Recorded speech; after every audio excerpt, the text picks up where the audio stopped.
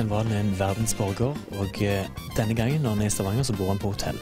Og eh, det kan være at han herjer litt, litt med oss og har gitt oss feil romnummer, men noe sier meg at dette er rett nummer. Nå skal vi prøve å vekke han. Klokka er veldig tidlig. Klokka er ti på tre. Altså ikke, ikke eh, 02.55, men 14.55. Veldig sent på ettermiddagen. Skal vi se om det er Det høres ut som det er liv bak her. De damene ifra sånn at jeg Hvordan går det? Er det noe vi skal rydde vekk først, eller er det Ja. Nå trodde jeg du uh, For jeg, jeg har nettopp uh, dusja fordi at jeg har vært nede og svømt. Bare ta og fjerne uh, litt sånn uh, eh, Men eh, nå får dere litt sånn feil inntrykk, for dette For det som du ser her, det er ikke sånn som det pleier å være. For der ser du det står Farris der. Det er egentlig masse drugs og rock'n'roll som skal ligge der. Men dere er vel tross alt litt tidlig ute. Men, men det er flott. Flott det er. Eh, Hvordan er døgnrytmen din? Pleier du alltid stå opp så seint? Eller tidlig? Eller hva er det for noe? Ja, nå faktisk har jeg stått opp tidlig, for det, nå um, må jeg dessverre Jeg er egentlig i Stavanger et par dager tidligere fordi jeg skal i møte med regnskapsfører. Men jeg setter meg på flyet, så kommer jeg på at jeg har glemt eh, regnskap... Og jeg må ha på litt godlukt, ja. Eh, jeg, jeg har glemt eh, regnskapspapirene. Men eh, det er sånn eh, Du, du trenger ikke filme at jeg Nei da, så eh, Det er flott. Nei, vanligvis, vanligvis står jeg opp sånn i firetida. Og så setter jeg meg ned, går gjennom mail, og så da fra regnskapsfører, der det står 'Husk å ta med regnskap'. Det glemte jeg. Så sa du det. Det er flott. Da står det 'Nå har du, noen har sendt deg en privatmelding på sukker.no'. Det som vi skal gjøre i dag, det er å gå igjennom med en som heter Håvard. Han er sjef for eh, Warner eh, Bros. Vi skal gå gjennom og planlegge ny DVD. Nå bestiller vi noen billetter til USNDA, for vi skal lage et TV-program i USA. Og så driver jeg òg her med å forhandle. Akkurat nå så snakker vi med Kaledonien i Kristiansand, som allerede har vært og spilt. Det har vi veldig lyst til å gjøre. Og så holder vi her på med det vi går gå gjennom senere. Vi skal spille sommershow, ser det ut til, i um, Tønsberg i sommer.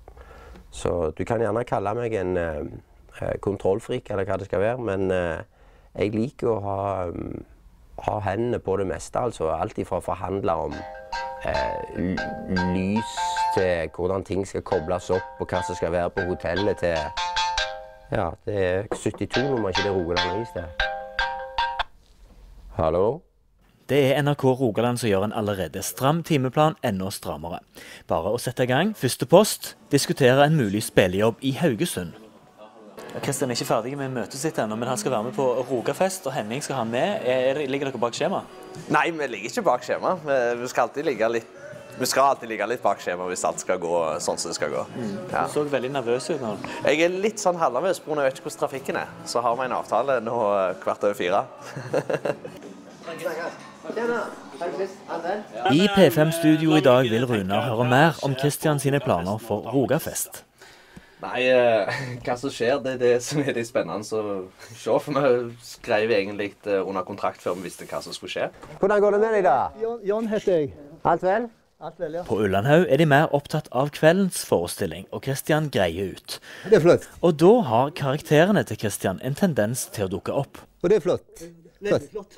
Ja, Det ble litt sånn rart å komme tilbake igjen, for det var eh, tross alt der jeg eh, husker jeg eh, ringte til far min og spurte om å få låne penger for å betale husleia i to dager.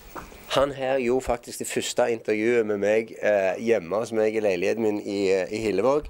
Og det var han som ringte til meg og sier han dette Du, hei, du Hundskin. Jeg har et parodierer. Kanskje jeg kommer hjem til deg, og så, vi, så lager du litt sånn forskjellige stemmer. Og jeg visste jo ikke hva du skulle gjøre, så klarte han å faktisk å presse det inn. Jeg vet ikke hvem du Norge måtte Rundt. Ja, jeg vet ikke hvem du trua med å få det inn på der. Ja, ja, De var jo kjempebegeistra, vet du. Problemet er det at dette opptaket, som nå er ca. 12 år, ga- 13 år gammelt Elleve. ja, Elleve. Det har nå kommet seg på TV og internett. Og dette er jo ikke bare 12 år siden, det er òg 12 kilo siden. Så det er jo ikke akkurat det jeg trekker mest damer på med å legge ut igjen nå. Jo da. Du var en ung, pen mann, husker jeg. Hva? Du er fortsatt, men du var enda yngre, og du var like pen. Det var diplomatisk sagt. Det er flott. Det er flott. det. Så så, ungdommen liker. Så nå er vi beinklare for å springe på scenen. Gjør du det? Takk for at du kom i studio. Bare hyggelig. Og det er flott. Hæ? Bare kjør, kjør jækla seint hvis du ser noen damer.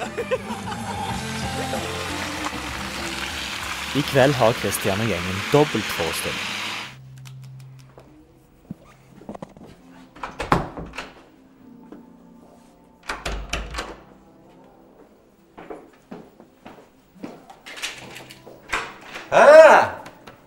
Kids der. Mm. Garderobe. Christian. Ja, det er flott. Lydprøve må alltid til, og det er alltid ræva.